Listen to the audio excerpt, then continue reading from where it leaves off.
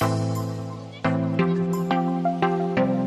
Liceo Scientifico Vitruvio is one of the largest general education upper secondary school, with a total number of 1500 students. It is located in Abruzzo, a region in central Italy.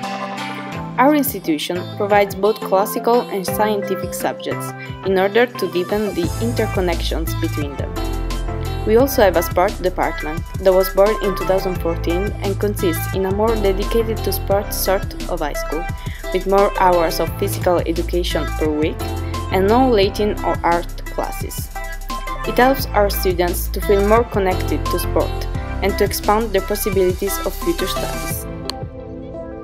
Every year, our school organizes a week entirely dedicated to science.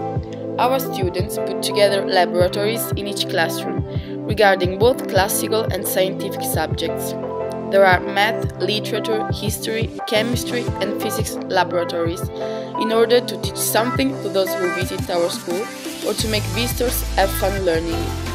In fact, there are workshops for everyone of every age, starting from 5 6 years old to adults interested, for example, in medicine.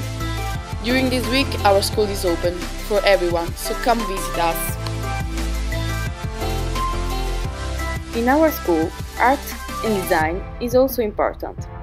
Classes of history of art and technical design are taught here, and the school is supplied with special classrooms for the students' needs. The institute is also decorated with artworks.